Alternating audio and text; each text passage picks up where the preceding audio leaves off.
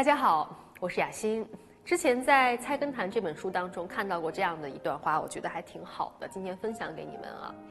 风斜雨急处要立得脚定，花浓柳艳处要着得眼高，路危境险处要回得头早。意思是说，面临狂风暴雨这样危险的处境呢，我们要站稳自己的立场，在令人眼花缭乱的环境当中，你要眼界高远，以免被冲昏了头脑；而在山路狭窄危险当中呢，你要及早回头，以免深陷其中。我们人走在路上，我们要抬头走路，我们都不低头走，我们的眼睛向前看，我们不要看脚底下。那么这句话当中，风斜雨急，花浓柳艳，还有路危境险，它其实呢都是一种比喻，是比喻我们人生路上出现的，呃各种各样的困难还有艰难。老话说，人无远虑，必有近忧。走路的时候抬头走，看前面，这并不是目空一切，而是一种自我认知的表现。我知道前方的路是什么样的。我才能够对自己有所估量、有所改变，而且更重要的是，我们在看向前的时候，你更不要被乱象迷惑，不要被流言困扰。看事情，我们要透过现象看本质，要入木三分。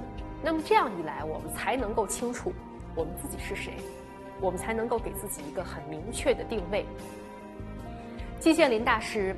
他在自己老年时期的座右铭当中，把古诗“老骥伏枥，志在千里”改为了“志在十里”，并且还解释说：“说我现在不能走路，我行动呢全靠轮椅，所以说我不能瞎吹。”我想，这可能不仅体现了季老的风趣跟幽默，还体现出了他对于自己的认知十分的清醒。我们每个人当然，我们有优，我们有优点，我们有缺点。但是人跟人之间的区别在哪儿呢？在于有的人他们能够自知而改过，但是有的人他们并不能自知。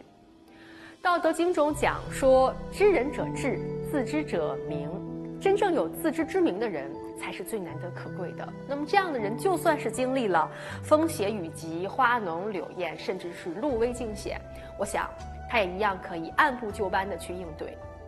所以说，自知之明对于一个人。很重要，不管是判断形势还是为人，我们都需要对自己有一个高度的认知，这样才能够更好的成功。好了，我今天的分享就是这些。如果说你有不同的意见，也欢迎在视频下方跟我留言互动分享。我们下一期再见。